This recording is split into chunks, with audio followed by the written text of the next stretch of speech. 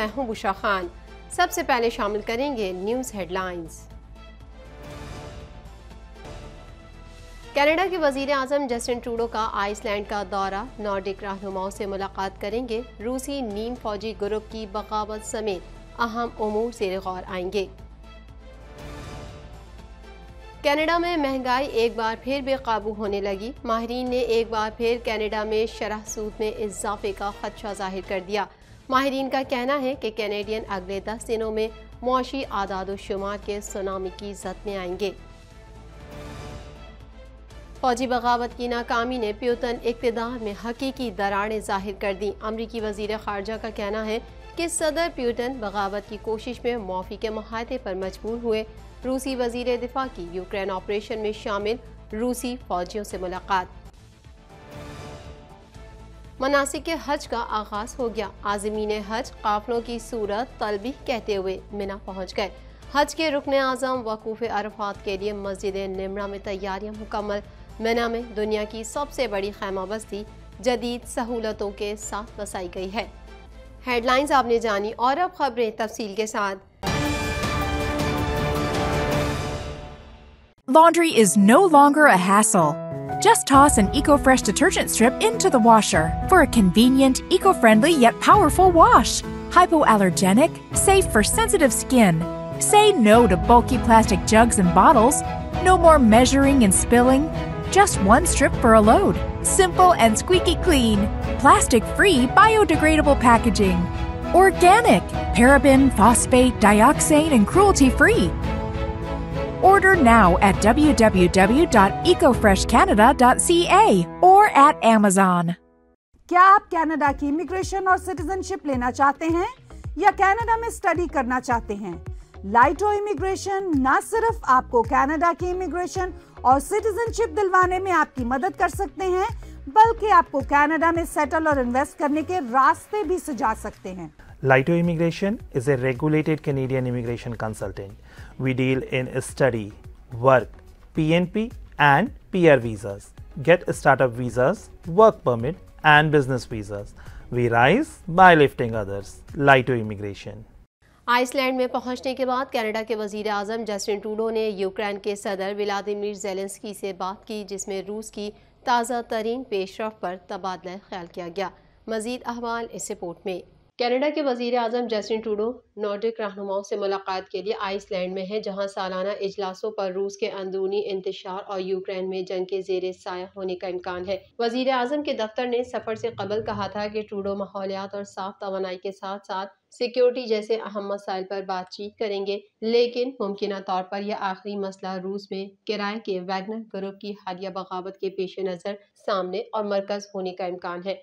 जिसे सिर्फ़ एक माहदे के साथ हल किया गया था, जिसमें रहनुमा यूगैनी प्रेगजोन की जलावतनी शामिल थी।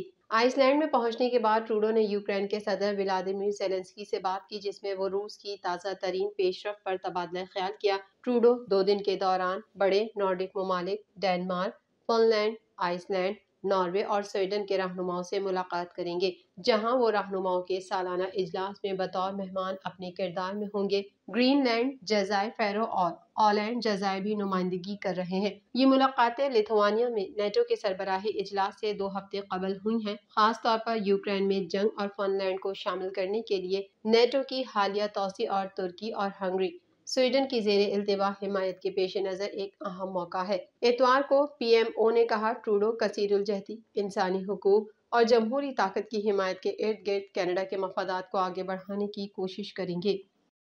माहरीन ने एक बार फिर कनाडा में शराह सूद में इजाफे का खदशा ज़ाहिर कर दिया। मजीद तफसीत इस रिपोर्ट में। माहरीन ने एक बार फिर कनाडा में शरह सूद में इजाफे का खदशा ज़ाहिर कर दिया। माहरीन का कहना है कि सूद की शरह इकतदी तरक्की और मुलाजमतों की तादाद के बारे में फिक्रमंद, कोई भी मसरूफ और नतीजा खेज हफ़्ते के लिए तैयार है। कैनेडियन अगले दस दिनों में मौशी आदाद शुमार के सोनामी की जद में आएँगे। महँगाई के ताज़ा तरीन आदाद शुमार इस बात का डेटा कि कनाडा की मीशत कितनी तेज़ी से तरक्की कर रही है और सार्फिन के मिजाज पर एक अहम मुताला। हमें सिर्फ़ ये नहीं बताएगा कि साल की पहली शिशमा माही में मीशत की कारकर्दगी कैसी रही है? वो पॉलिसी फैसले तय करेंगे। बताएगा कि बाकी साल कैसे गुजरेगा। माहरीन का कहना है कि बैंक ऑफ़ कनाडा मुमकिन तौर पर 12 जुलाई को सूद की शरह बढ़ा देगा। लेकिन इस हफ़्ते के डेटा से हमें वो सब कुछ बताना चाहिए जो हमें बैंक के फैसले के बारे में जानने की ज़रूरत है। हमें लगता है कि वो 25 बुनियादी पॉइंट्स पर जाने वाले हैं। अगर हम ऐसी सूरत हाल में हैं जहाँ तो पर काबू नहीं पाया जाता है तो उन्हें ज़्यादा इजाफा करना पड़ेगा। बैंक ऑफ़ कनाडा अफरात जर पर लगाम लगाने की कोशिश में शरह सूद में जारहाना इजाफा कर रहा है। नज़रिया ये है कि जैसे जैसे नर्ख बढ़ते हैं, सार्फिन कर्ज की ज़्यादा अदायगियों से निचोड़े जाते हैं। अपने कर्ज की अदायगी के लिए ज़्यादा रकम के साथ कैनेडियन के पास कहीं और खर्च करने के लिए इसमें से कम है। ये मीशत को सुस्त करने और कीमतों को नीचे लाने का रुझान रखता है। बिल्कुल वही है जो बैंक ऑफ़ कनाडा पहली जगह में शरह में इजाफे के साथ पूरा करने की कोशिश कर रहा है। मसला इस साल के बेशतर हिस्से में है। इकतदी आदाद शुमार तो ज़्यादा सख्त आए हैं। मजमू घरेलू पैदावार, मुल्क की मीशत के ज़रिए तैयार करदा तमाम सामान और खदमात की कुल कीमत दो हज़ार तेईस की पहली सहमाही में तीन अशारिया एक फ़ीसद की सालाना शरह से बढ़ी। इस साल अब तक कैनेडा के आजरों ने दो लाख तीस हज़ार से जायद मुलाजमतें शामिल की हैं। रूस में निजी फौजी मलेशिया की मुसल्ह बगावत की कोशिश के हवाले से अमरीकी वज़ीर खारजा एंटोनी ब्लिंकन ने तबसरा करते हुए कहा कि रूस में बगावत की कोशिश ने सदर प्यूतन के इकतदार में दरार को बेनकाब कर दिया। मजीद तफसीत इस रिपोर्ट में। रूस में निजी फौजी मलेशिया की मुसल्ह बगावत की कोशिश के हवाले से अमरीकी वज़ीर खारजा एंटोनी ब्लिंकन ने तबसरा करते हुए कहा कि रूस में बगावत की कोशिश ने सदर प्यूतन के इकतदार में दरार को बेनकाब कर दिया, जबकि दूसरी जानब हफ़्ते को होने वाली वैगनर ग्रुप की मुसल्ह बगावत की कोशिश के बाद रूसी वज़ीर दिफा सरगई शोगो ने यूक्रेन ऑपरेशन में शामिल रूसी फौजियों से मुलाकात की। मीडिया जराये के मुताबिक रूस में हफ़्ते को वैगनर ग्रुप ने मुसलह बगावत की कोशिश की थी। बेलारूस की मसालती कोशिशों से वैगनर सरबराह ने पेश कदमी का फैसला वापस ले लिया था। अमरीका के वज़ीर खारजा एंटोनी ब्लिंकन ने कहा कि निजी वैगनर ग्रुप और इसके रहनुमा एविगेनी प्रेगिजोन के अख्ताम हफ़्ते पर बर्पा करदा बगावत प्यूतन के इकतदार और इख्तियार को बरह रास्त चैलेंज के मुतरद है उन्होंने कहा कि सदर प्योतन बगावत की कोशिश में माफ़ी के माहे पर मजबूर हुए अमरीकी वज़ीर खारजा के मुताबिक बगावत की कोशिश प्योतन के इकतदार में हकीकी दरारों को ज़ाहिर करती है उन्होंने कहा कि इस बहरान से गहरे सवाल जन्म लेते हैं यह हकीकी दरारों को ज़ाहिर करता है। यह बयान अमरीका की जानब से रूस में होने वाली पेशरफ के बारे में पहला अवामी रद्द अमल है। वो गुजशत चौबीस घंटे के दौरान में बगावत पर यूरोपीय इतिहादियों के साथ मशावरत में मसरूफ था। मनासिक हज का आगाज़ हो गया और आज़मीन हज काफलों की सूरत में मिना पहुँच गए हैं, जहाँ आज रात वो क़्याम करेंगे। कल रुकन आज़म वकूफ़ अराफात अदा किया जाएगा। मस्जिद निमरा में तमाम इंतज़ाम मुकम्मल कर लिए गए हैं। मजीद अहवाल इस रिपोर्ट में।